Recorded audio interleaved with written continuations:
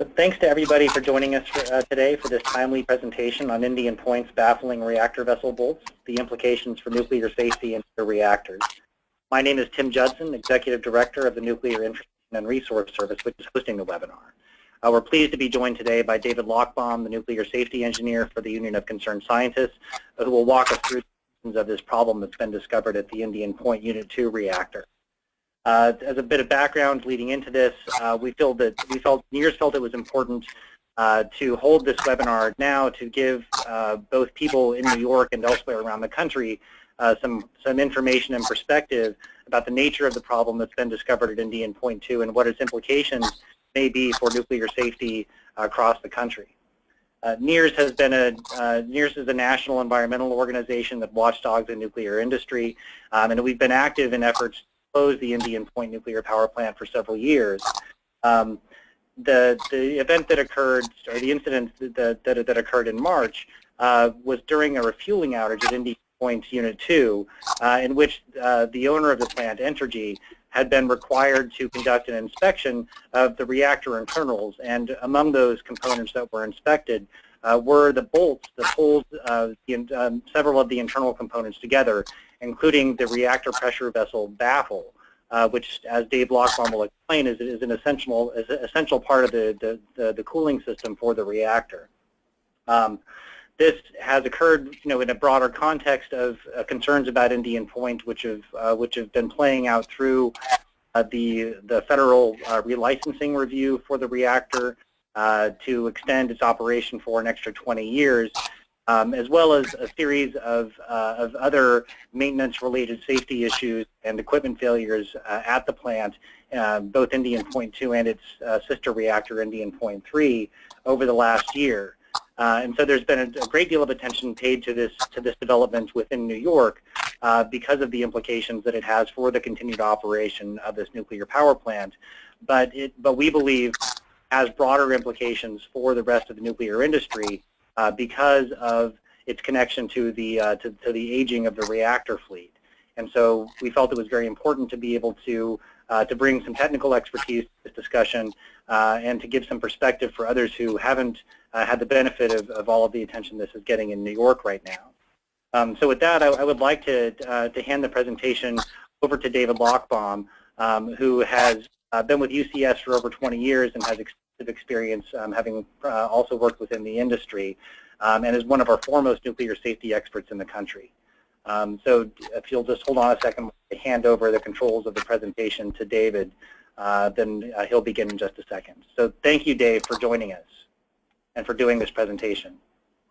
Thank you, for uh, hosting this webinar series of the great benefit to me and also appreciate the opportunity to share our perspectives on this issue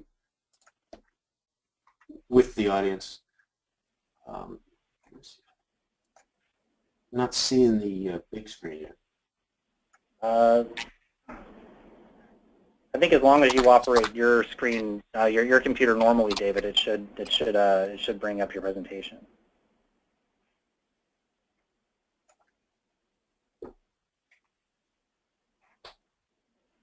If not, we can switch it back to mine, and I have your slides queued up.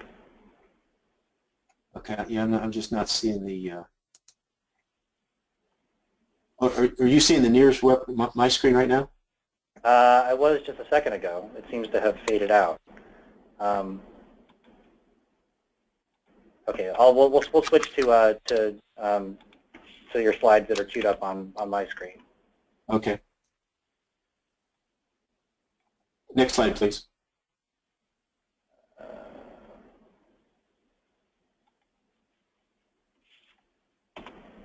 Great.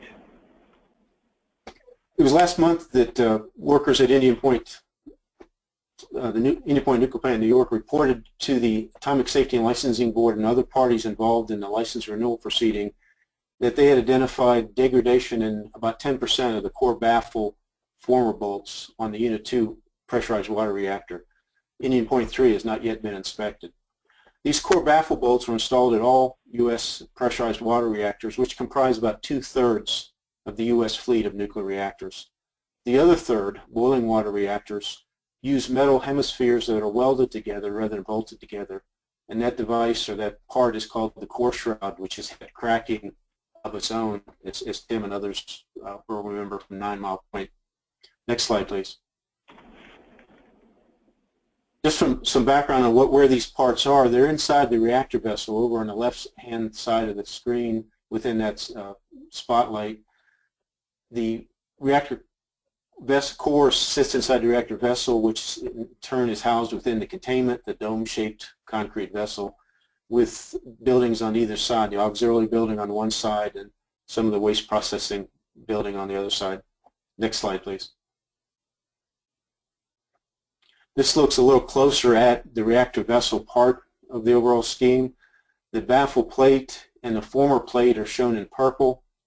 Uh, the they're just inside a in this figure a greenish looking thing called the core barrel, which surrounds the, the core the baffle plate and the former plate. The reactor core, the, the fuel assemblies sit on inside of the baffle former assembly. Next slide, please. This is a cutout view showing the baffle and former plates in the center as they reside in the reactor core on the left, and a close-up of some of the parts on the extreme right. The core former and core baffle are essentially a, allow the, the round reactor core to sit inside a square hole.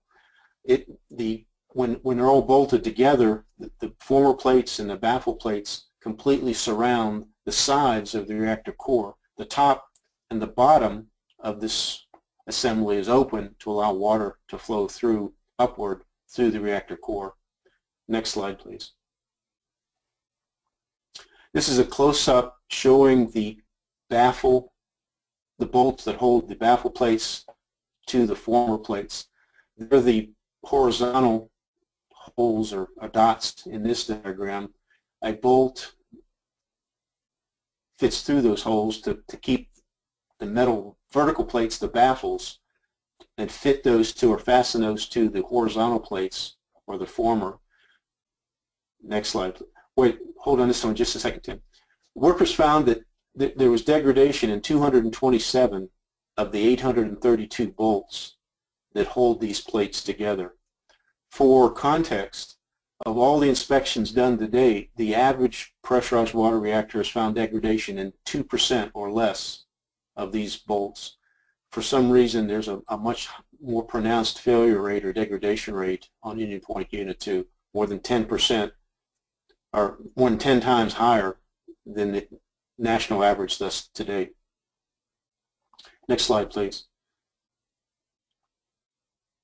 to further confuse what, what can be a confusing topic, there's other bolts inside uh, that are involved that are called the baffle former edge bolts. As, as shown in this diagram, they're the ones that run vertically at the edges where these metal plates fit together. Uh, there's many more of those, um, but and their failure is not quite as important as the former and baffle bolts for reasons that we'll get to in just a moment. Next slide, please.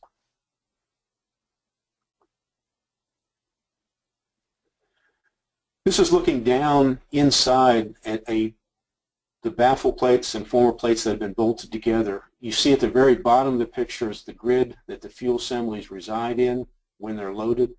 This is a completely empty assembly. That's not even in the reactor core but you can see at the very top surface the flat tops of the former plates.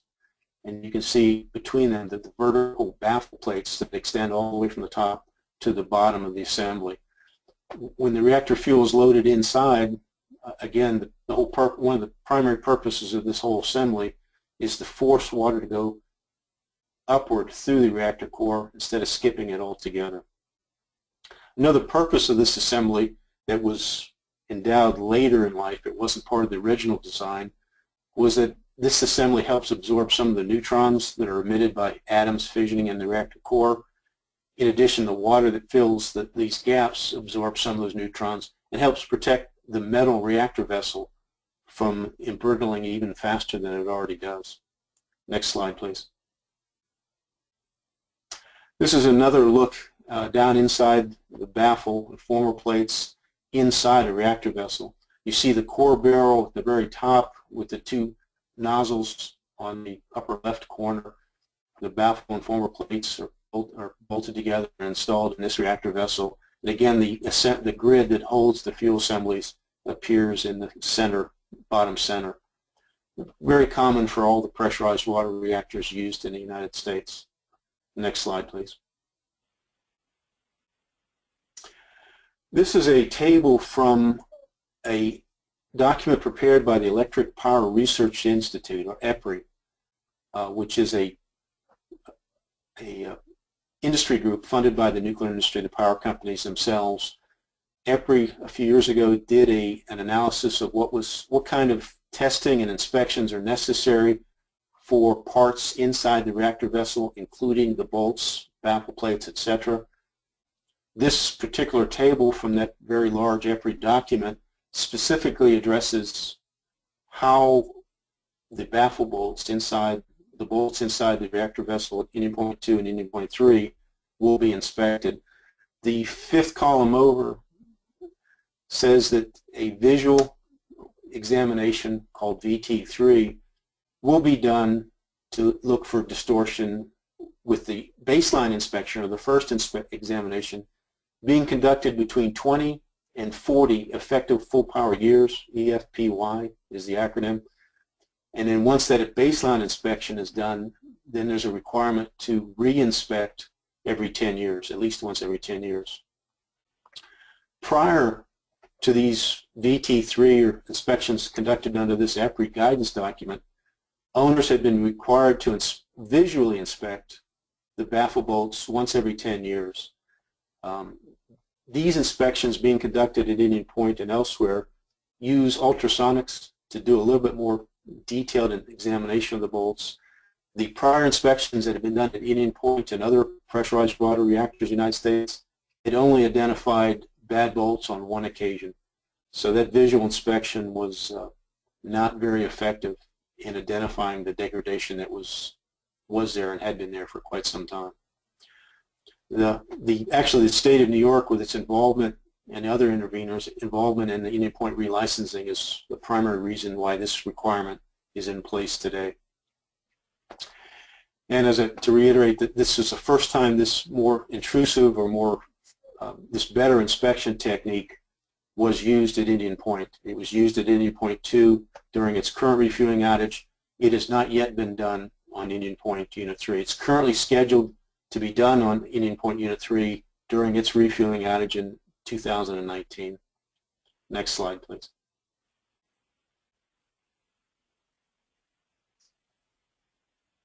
The whole reason why the, it's important for the baffle plates, the bolts to be non-degraded, to remain intact and to do their thing, is primarily because when the baffle plates and the former plates are fastened properly, they force the water to go through the reactor core instead of bypassing or skipping it. If you look at this diagram, the inlet nozzle is on the right hand, or it's kind of in the center, to the right hand side of the reactor vessel. The water comes in, the cooling water, the makeup water comes in through these nozzles, is forced on the outside of the core barrel and the baffle and former plates into the lower dome-shaped portion of the reactor vessel where the water gets turned around to then flow upward through the reactor core past the fuel assemblies to remove the heat that's being produced by fissioning atoms in the reactor core. Once the reactor is shut down, the decay heat continues to be produced by the radioactive decay of byproducts from the fission reaction. So even after the reactor is shut down, it's important that water flows through the reactor core to remove that heat to prevent damage due to overheating or, worst case, a meltdown. Once the water flows upward through the reactor core, it then, in this diagram, takes a left-hand turn and goes out through the outlet nozzle.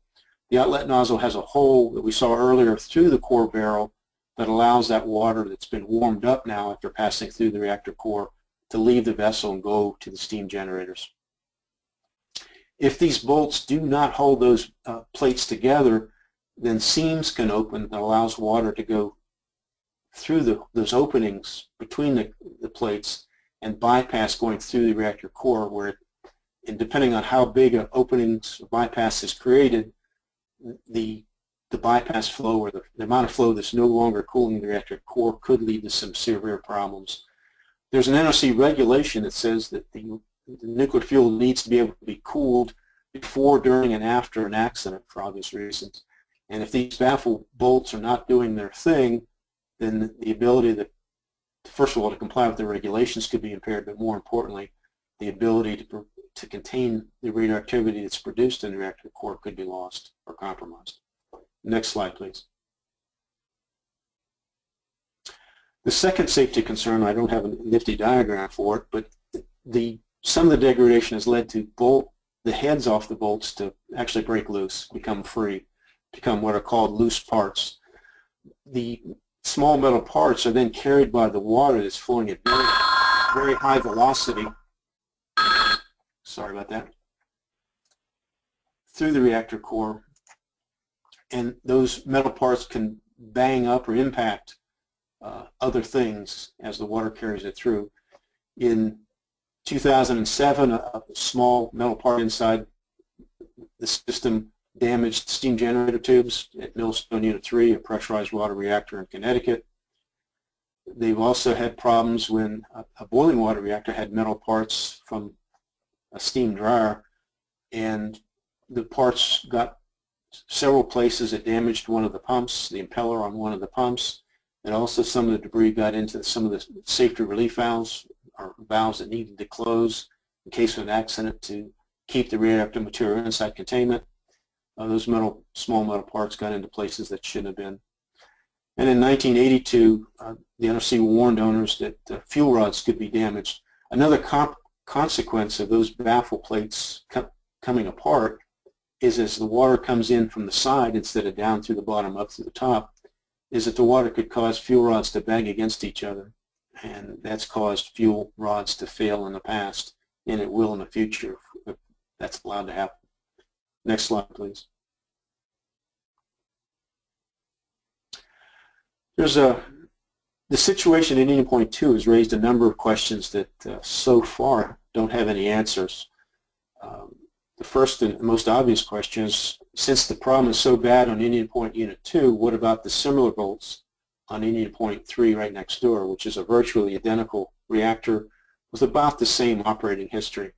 Uh, due to some problems in Indian Point Unit 3, it's got about two years less operating history or experience than Indian Point Unit 2. Um, we're also being told that the bolting pattern on Indian Point Unit 3 is a little bit different than the bolting pattern on Indian Point Unit 2. Um, that may be true, but I'm not sure why that difference makes Indian Point 3 less susceptible rather than more susceptible. But anyway, that's still a question to be answered. The NRC is trying to induce the owner to do that inspection sooner than 2019 when it's currently inspected or scheduled. Uh, remains to be seen when that inspection will be done. I already kind of answered part of the second question. Is they have done inspections in the past that didn't find any problems at Indian Point Unit 2 or elsewhere except for one, one minor case. So the question is, was the degradation there and not found or was this degradation occurring since the last inspection? Either way, there's no good answer to that question because if it was there and not found, then the inspections were useless, so you can't take much credit for it. If the degradation occurred since the last inspection, and it's so bad, then that means suggest that doing the inspections every 10 years is not appropriate and doing it more often would be a better way to ma properly manage this aging mechanism. The third question is probably the most important to me is that Indian Point 2 and other pressurized water reactors have a loose parts monitoring system which is called the metal impact monitoring system in Indian Point. But there are acoustic monitors that are actually physically attached to the reactor vessel and some of the piping that are supposed to detect the noise made when metal parts hit other metal parts. But there's no indication that that system detected the degradation of the loose the bolt heads as they wandered through the, the system at Indian Point 2. So that, since that's the whole purpose of this system being installed, we have a little question about did it, did it fulfill that function? or not. we think it's an important question, or the answer is pretty important, because if, if that system is doing its thing and is actually monitoring and detecting loose bolt heads and other metal parts, it would be a safety net to protect Indian Point Unit 3 until its inspection is done. If that system has no value and it, it doesn't detect loose parts the way it's supposed to, then that safety net uh, can't be relied upon at all.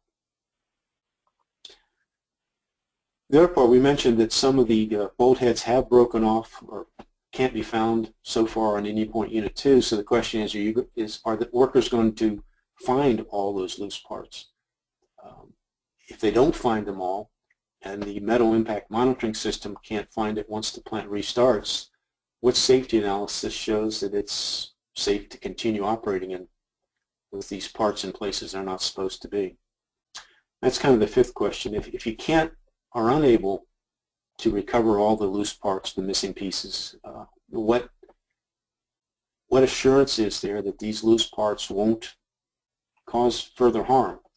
The parts are small enough they could uh, get in the pathway of control rods that need to insert into the reactor core to stop the nuclear chain reaction. Could these loose parts impede that progress of one or more control rods? Several valves are open when the reactor is operating but need to close during an accident to prevent uh, loss of cooling water inventory and also to prevent radiation from getting outside containment. Could these loose parts block the travel of those valves and keep them from fully closing? And as loose parts have done in the past, they've damaged fuel rods and steam generator tubes. Could the loose parts, if they're not recovered, cause similar problems on Indian Point 2 in the future? Uh, and what's if so, what's the, what's the protection, what's the safety net that would protect workers and the public from those bad outcomes? Um, the NRC has indicated that they won't allow Indian Point Unit 2 to restart until the problems have been addressed. We hope somewhere through the, the NRC's efforts that the answers to these five questions are, are found and reported publicly so everybody agrees that those are the right answers. Uh, I think that's the next, next, is that the last slide, Tim?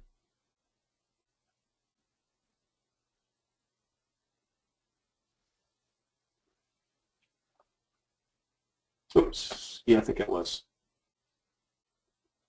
With that, I'd be glad to uh, answer any questions or clarify any of the information provided uh, if there's a mechanism for uh, posting or posing questions. Yes, thank, thank you, Dave, for that, that wonderfully clear presentation. And um, we will open it up right now. I'd like to give some instruction as to that.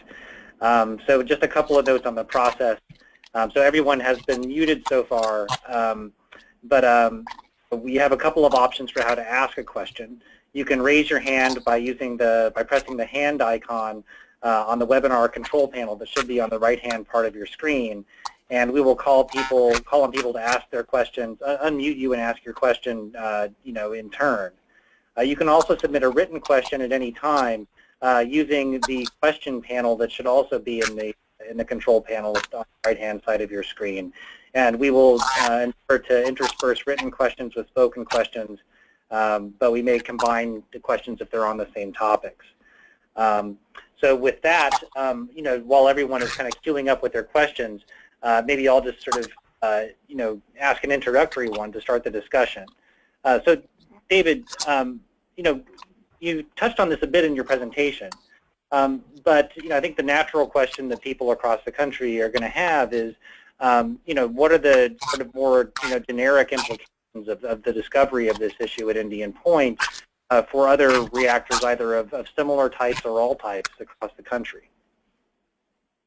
That's, that's a good question. I think the a lot of that remains to be seen. Um, some plants had already done this inspection, and as I mentioned, the average plant had less than 2% of the bolts found to be degraded. Indian Point Unit 2 had a much higher percentage of their bolts found to be degraded. So I think there's still some uncertainty about what's causing this problem and why it's so pronounced at Indian Point Unit 2. It could be, at the end of the day, it's not more pronounced. As the other plants do these inspections and find the degradation, find the, the, situation of the bolts at their plants, it could be that Indian Point 2 is uh, not more pronounced. Maybe there's somebody out there that's even worse than that.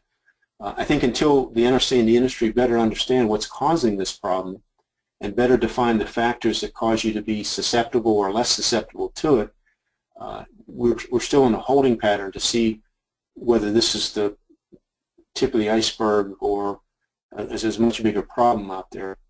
Uh, if you look back about 15 years ago, in 2001, workers at a Oconee, a, new, a pressurized water reactor in South Carolina, found a problem with degradation. The NRC did, a real good job in that situation of figuring out which of the other 68 pressurized water reactors like Oconee would be vulnerable to that type of degradation. And they bin the plants into highly vulnerable, medium vulnerability, and low vulnerability, and had different inspections based on your vulnerability level. When the inspections were finally done, the NRC had been right in, in determining what factors caused you to be vulnerable or not. I, hopefully the NRC is doing a similar process here to figure out who's susceptible and obviously the more susceptible plants will need to do these inspections sooner rather than later.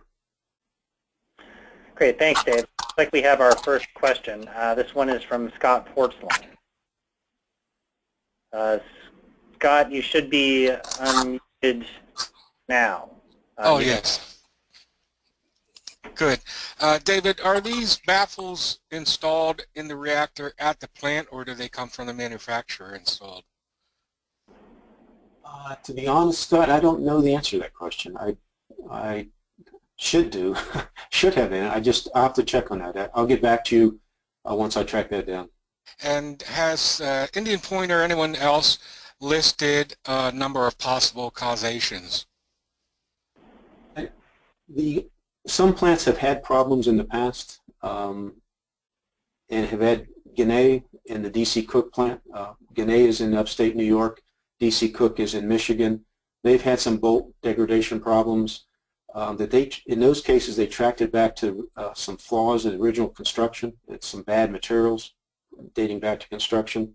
Um, I haven't seen yet uh, any even candidate causes for New Point 2. I think that's not a fault of the company. They need to remove uh, the bolts that have been found to be degraded to do more of a CSI nuclear, if you will, to figure out what the, the causes are. Well, you had to figure it out, but uh, I mean, it's easy to guess about eight different reasons it could be happening. I, I haven't even heard, seen any guesses yet. Um, Yeah. I've seen some, as I alluded to, there's been some suggestions that op- the longer you operate, the more likely you are to have this problem. That's kind of a uh, easy one. That's I think they need more refinement than, than simply time. Because some of the plants that have been inspected and found very little damage are older than Indian Point Unit 2. So it's not just operating time. It may be that plus water chemistry plus material types. Temperature is usually a big factor. The higher the temperature, the more stresses are that can aggravate a problem caused by degradation or corrosion. Yeah, it could even be a chaotic eddy that is occurring similar to uh, steam generator troubles. It's, it's very possible case. There, there are holes drilled in some of these plates to allow some flow to go through it so you don't have temp very high temperature differentials across metal. Depending on where you drill those, those holes, that could be causing some turbulence that are just making problems worse for some plants. Thank you. Thank you, Scott. Thanks, Scott. Um, so moving on to our next question, we've got a few questions uh, that people have been submitting um, writing. We've got another person in the queue, Marvin Lewis, uh, but we'll go to uh, Ace Hoffman's question. Uh, is there a regulation for how large a loose part is allowed to travel through the system? there's not a regulation on, on loose parts. The, the, way the loose parts monitoring systems are, are intended to work is if you get an indication that you've got something broken loose inside the reactor vessel or, or, or the reactor coolant uh, pressure boundary more broadly, you're then supposed to do an analysis to try to determine whether it's one part, multiple parts, what the source of that might be, because whatever broke, it, it, to create the loose parts, it might be a bad thing to have that not fully intact. So that detection indication from the loose parts monitoring system is supposed to trigger that analysis to justify continued operation of the reactor, or if the outcome's not that, to shut down the reactor and do some more inspections to see what's uh, making that noise. Great. Uh, so next we'll go to Marvin Lewis uh, to ask his question. Marvin, I'll unmute you now so you can ask. Marvin, are you there? Uh, I think we just heard you a little bit, but um, uh, can you, Marvin?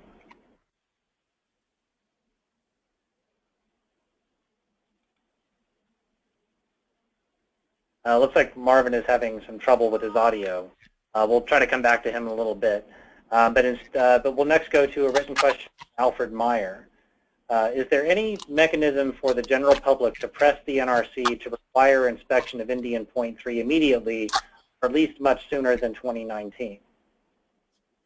Well, there is a, uh, the mechanism that's available to the public is called the 2.206 process. It's a federal regulation under Title 10 of the Code of Federal Regulations, uh, Section 2.206, that allows any member of the public to petition the NRC to take enforcement action against one of its licensees. The enforcement action that's sought could be a requirement to go out and do an inspection, order the, order the licensee to go out and do the inspection on Indian Point 3. The demand for the petition could also ask for demand for information, asking the the owner why it's okay to continue operating Indian Point 3 until 2019. Uh, 2.206 petitions have been frequently used. Uh, they're, uh, it's not a slam dunk, uh, but it is the process that it's available to the public to try to bring about those kind of uh, outcomes. Great. And so we have another uh, audio question from Chaitanya Kalavar. I'll try to unmute Chaitanya now. Um, and I will say just before we get into the next question, uh, we have had some uh, some people have indicated some problems with the uh, with the audio for the presentation so far. Uh, not sure if that's something that's happening for a lot of people, uh, but the but the webinar is being recorded. So if there are parts of it that you've missed, that will be posted on NIRS's website um, in the next few days. We'll be sending out an email to let everybody know about that. Uh, we haven't had any any interruptions in the audio on this end, so we assume that the recording is, is, is being done properly. Um, so uh, with that, uh, Chaitanya, uh, would you like to ask your question?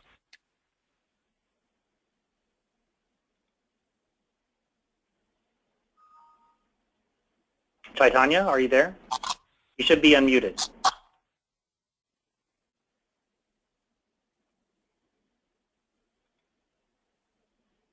Uh, well, sounds like Chaitanya might also be having trouble with the audio, uh, but um, she or he did uh, write their question. Uh, why can the loose parts not be found in a 100% design system?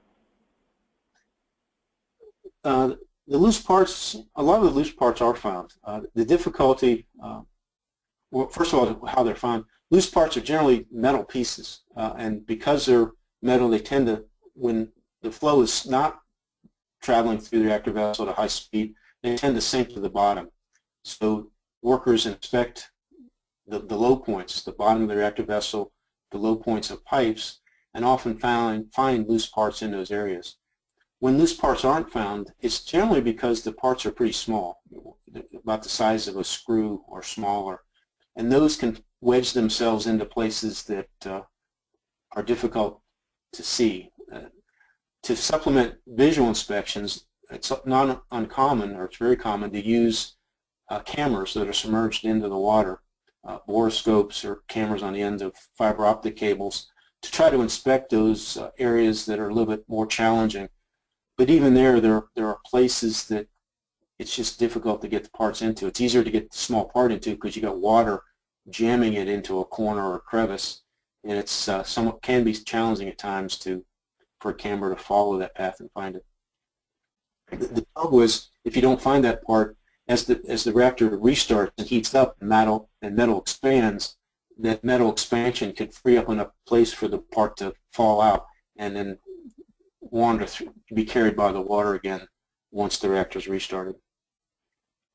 Yeah, I think, Dave, and one of the things that I've, that this has been a real educational experience for me to find out is, um, you know, I mean, I assumed, you know, just as a non-expert person that uh, that the way that the, the you know, was structured was a fairly open design, and actually it's, it seems like it's actually a very complex um, of equipment that, um, you know, that, that just would be hard to, to conduct, you know, that kind of comprehensive, thorough inspection. Yeah, one of my first jobs in the industry uh, shortly after college was Browns Ferry in Alabama lost some parts. And we, we looked real hard for them because it was much easier to find them to try to convince the NRC it was okay to leave them there. And these were two-inch square pieces of metal. Uh, we found many, but we couldn't find them all. And we looked real hard for real long before we gave up, and we just couldn't find them. Okay, so our next is a written question from Michelle Lee. Um, uh, she says, at the November 2015 ASLB hearing in New York, State of New York witness Dr. Richard Lahey expressed strong concern over the ability of Indian aging baffle bolts uh, would be able to withstand the kind of shock load events that might occur under accident conditions. Could David expound upon this point and indicate the kinds of events he deems of particular concern? That's a very good point because the degradation of the bolts and the fact that some of the bolt heads apparently have fallen off just during normal wear and tear suggests that they're weak, they're weakened by this degradation. If there were a more challenging event that put more stress on the bolts, then it could be like a zipper effect where bolt after bolt breaks loose, putting more force, more stress on the next bolt, causing it to break. And it just like a zipper just goes down the line, opening up a whole long series of, of baffle bolts. The kinds of situations that would put the most stress on these plates is a break of a one of the pipes, the outlet pipe. If you break one of the pipes that's connected to the reactor vessel, you get a lot of water jetting out through the broken end of the pipe very fast, kind of like opening up the nozzle on a balloon. That puts a lot of pressure as you have the inlet side that the pipe is still intact, putting water into the vessel, and you have one line that's uh, pressure's dropping very, very fastly through that broken pipe.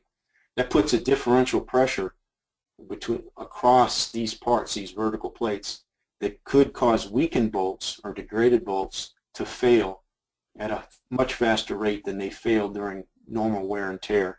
As I, as I read through Dr. Lahey's testimony, I think that's the, the kind of situation he's concerned about. And that's a, that's a genuine concern that it owns an NRC review every operating cycle because that it takes a bad day into a nightmare. And Dave, maybe to expound on that a little bit, um, you know, one of the one of the, the concerns that people have expressed about Indian Point uh, is its vulnerability to, uh, to, to earthquakes and seismic effects. And you know, the NRC shortly after Fukushima accident, you know, released uh, you know a listing of the reactors that were greatest danger of core damage from from a seismic event, and Indian Point uh, topped that list. And so, I mean, is there something to be concerned about, you know, with respect to to this issue in relation to that? Well, I think the bolts themselves uh, would be subjected to forces during an earthquake. Ground motion would affect them just as it would affect everything else. But I think the larger concern, that circles back to the, the question, is that if the earthquake, the ground motion, the shaking during the earthquake caused one of those pipes connected to the reactor vessel to fail, or actually failed something else that fell on the pipe, which in turn caused the pipe to fail, that would cause a larger force on these bolts. Um, so the, the bolts might fail at a higher rate due to the ground motion and earthquake shaking, but it's more likely that they would, more of them would fail if the earthquake caused a pipe to break that put a, a large differential pressure across the bolts and stressed them uh, perhaps beyond the point of breaking. Gotcha. So this is sort of a cascading safety impact from that kind of an incident. It could be. I mean, the safety studies are done assuming that the pieces, the parts, the components are in pristine condition. And the aging management is supposed to ensure that as degradation occurs, that safety margins aren't compromised to the point where the chance of pipe failures or bolt failures during a postulated accident don't increase. If you've got degradation to the point that bolt heads are falling off during normal wear and tear, then it somewhat undermines the safety net, showing that the plant could survive you know, more forceful stresses. Um, it, it definitely puts that in question when things are failing during normal operation. Gotcha. Um, so we have another question, uh, this one from James Bacon. Uh, how long do you think it will take for Entergy to conduct a cause analysis? My understanding right now is that Entergy is doing two paths in parallel. One is a pathway to remove the degraded bolts and replace them with uh, good bolts or un undamaged bolts.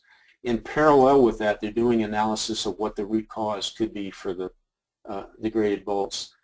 The I'm not sure when which of those paths will be done first. They both need to be done before the plants can restart. Um, I'm not sure when, in some respects, the, the root cause is going to have to lag at least some of the repairs because that root cause analysis can be speculative right now, but they need to get some of the bolts out to send them off for laboratory analysis to, to either confirm some of the candidate causes or eliminate some if the metallurgy doesn't support it. So there's there's some nexus or overlap between those two parallel paths, um, and it it will take a time. As far as the replacement of the bolts themselves, I'm hearing that the, the tool that's needed to replace the bolts arrived on site I think last within the last week, and it's going to take a while. Past plants that have had problems with this have only been able to replace five to eight bolts a day because it's under a lot of feet of water. It's being done remotely, and many of these bolts are in places that are hard to, are marginally accessible, so it just slows things down. And I guess maybe in relation to that, Dave, I mean, you know, uh, how are these bolts attached? Is it possible that there's gradation in how they're actually fastened to the uh, to, to, to the component? Well, I, I, don't have much information on the on the level of degradation. Uh, that was one of the questions that came up early on. The company reported 227 degraded bolts. When you look at the procedure that was being used to do these inspections, the, the threshold for reporting something as degraded is very, very low. So it could be they only have a few that are very extensively degraded, and most of them are, you can detect degradation, but it's not much more than that. So it's, it's difficult. And without that answer or without that context, it's difficult to, to understand whether there's damage in other bolts that's not yet been detected, or if that degradation mechanism could affect the plates that these bolts are fastening together. Um, so I think the, the jury's still out, or not even the jury. Uh, the, the, evidence has not yet in, been introduced into the proceeding. Okay. Um, and we have another question from Chaitanya Kalavar. Uh, how sensitive are the bolts to earthquakes? Uh, safety factor is included in their design, if any, for earthquake forces, or is it just pressure gradients? That's a good question. The bolts and, and, the internal parts are designed for thermal stresses. As the metal heats up and cools down, the expansion and contraction puts forces on the parts that are in contact with each other. They're also designed for dead weight, gravity. They're designed for the, the forces that they would likely to exceed or experience if there was a postulated accident, a pipe break, or, or other problem. Uh, and they're also designed for the design basis earthquake, the forces that occur. And depending on uh, the situation, some of those forces are combined together. Uh, you don't assume an earthquake occurs at the same time as a design basis accident, uh, so you don't combine those forces. But the earthquake forces, the gravity forces, the thermal expansion are all things that you, you could occur concurrently, so they are combined or considered the same time. Um, and the next question is from Robert Whitney. In simplest terms, how would failures as those described impact the immediate environment and nearby resident populations? Well, the plant is designed for a loss of coolant accident, which these bolts uh, could affect. The assuming other safety features at the plant, namely the containment barrier, um, remains fully functional, that would minimize the amount of uh, radioactivity that it gets released from a damaged core, excuse me, should a damaged core occur. So it, the, the baffle bolts and the problems could make a, an accident worse, but they themselves won't compromise the barrier, the containment barrier. So as long as that independent barrier remains intact and does its thing as it can, then it's not likely to cause a huge problem to the community, either the public or the, contaminate the environment. If that containment barrier is not doing its thing, then things could get worse. Um, and, uh, and then a question from Bruce Rosen. Indian Point sits on a tidal estuary. Ostensibly during, during Hurricane Sandy, the Hudson came between, uh, came within one feet of overflowing the containment ponds. Uh, how does this siting complicate the metallurgical deterioration? I'm not sure if that question's answerable, but Well, I think that the, the answer that I was going towards was uh, one of the lessons learned, one of the many lessons learned from Fukushima is that external forces can cause problems at plants. So one of the things the NRC is doing is requiring all owners to reevaluate their vulnerabilities or their protections built into their plants to, to handle severe earthquakes and severe flooding events. Uh, that's an ongoing process. There's still some homework to be done there. But I think the potential impacts of uh, extreme flooding or severe flooding events at any point will be addressed during that, that current work in progress. Um, I hope that doesn't tap dance around that answer, but I think that's the process that will best resolve that concern. Sure. Um, and a question from Susan Carpenter. In general, how well does acoustic monitoring do in detecting parts? Acoustic monitor, I've not yet heard of many success stories with acoustic monitoring. There have been a lot of loose parts that were detected by broken things, things that the loose parts damaged, and not so many found by the acoustic monitors. So I think whoever the vendor that sold the acoustic monitors had a better marketing department than engineering department, um, was able to sell a lot of things, don't seem to have a lot of value behind them. Um, but we'll see. One of the questions we've asked the NRC is what did the metal impact monitoring system at Indian Point 2 detect, if anything? We haven't got that answer yet. Great. Well, that seems to be all the questions that we have. Uh, Dave, I really wanted to thank you for taking the time to, to do this presentation and to answer the questions. Um, is there anything that you would, we have another one coming up, but, um, but you know, um, after we're done with the questions, I'll ask you to, um, if there's anything that you'd like to wrap up with or any concluding comments that you'd like to make. Well, Um, the, the last comment, the last question that we have is um, from Colleen Bonnewell. Uh, we were told it is leaking, so where is the leak reminder? Uh, earthquakes occur every 200 years on the East. I'm not sure if maybe this is also in relation to the um, to the uh, the leaks that have been occurring in the Indian Point fuel pool. Well, the, yeah, the Indian Point fuel pool, um, that's a salt in the wounds. Since 1993, the, the stainless steel liner that fill, surrounds the Indian Point uh, refueling cavity has been leaking. The only reason it was installed is to prevent leakage following a, an earthquake, um, but it's been leaking ever since 1993. During this current outage, workers went in again and tried to fix it and were unsuccessful. Um, since that's the only purpose is to prevent leakage following an earthquake, the fact that it's leaking before the earthquake should be a problem, but both the NRC and the owner are aware of the problem but have not yet been successful in repairing that safety problem. Um, sometimes I'm a little concerned that the NRC's approach to safety is wait till something bad happens and then take a step back. Uh, I wish they'd be a little bit more aggressive in, in protecting the public and workers. Great. Um, and we have another question um, from Chaitanya Kalavar. I'm going to un unmute Chaitanya so that she or he can ask the question. Chaitanya, are you with us?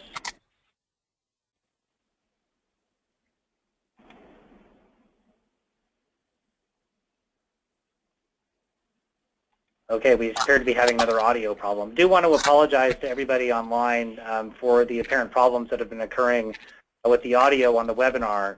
Uh, we'll try to get to the bottom of that before our next presentation. Uh, but like I said, we you know we have had um, you know uh, the audio on our end the entire time, so we assume that the that the recording has been going through okay, and we'll be able to make that available to everyone within a couple of days. Um, so with that, I think you know Dave, I'll hand it to you for for, for some concluding remarks. I think one of the things that concerns us about this situation in Indian Point Unit 2 and perhaps uh, more broadly across the industry is that, there are two trends that work against each other and could compromise safety. One is the fact that these plants are getting older, they're aging, parts are wearing out as these uh, degraded bolts at Indian Point Unit 2 demonstrate. At the same time, the industry is under a lot of pressure to reduce costs. At the NRC's annual conference last month, the industry said they need to reduce, the average nuclear plant needs to reduce its cost by about 25% in order to compete uh, with non-nuclear neighbors. At a time when plants are wearing out and, and it's necessary to replace parts to maintain safety margins, a pressure to reduce costs is a challenge. It doesn't mean the owners will fail to meet that challenge, but it means the owners must be very, very careful in what they decide, how they uh, decide to apply limited resources. It's important that they defer the right things and don't defer things that uh, could cause problems. As, as those two trends continue to work in opposite directions, those decisions become more and more important. And we turn to the Nuclear Regulatory Commission to make sure wrong decisions aren't made that could ultimately come back someday to cause a huge problem. Sure. Well, and, and Dave, I think maybe in relation to that, we actually just got another question that touches on maybe the broader implications of the issue you just raised. Uh, this is from Bruce Rosen. Uh, does anyone in the House or Senate on an appropriate committee understand these?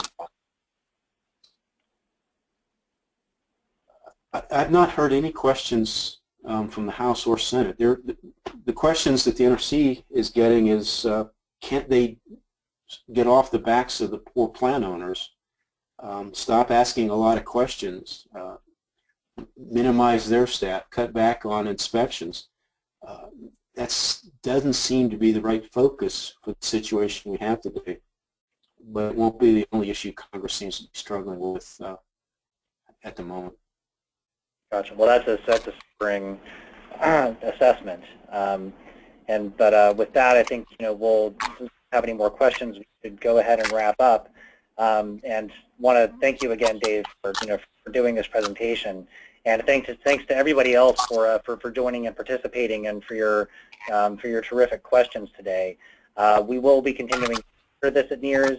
Um, we'll be getting out information as you know as needed you know, to the extent that there are developments as this situation evolves, um, you know, we'll, uh, you know, we'll, we'll entertain the, the possibility of, of doing another presentation like this in the future. Um, so with that, uh, you know, we'll end the webinar, and, uh, and please look for email from us within a few days uh, notifying you that the, that the recording has been posted on our website. Um, so thank you, everyone, and, uh, and hope, to, uh, hope, hope to see you again soon. Thanks very much. Thanks, Tim. Thanks, everyone.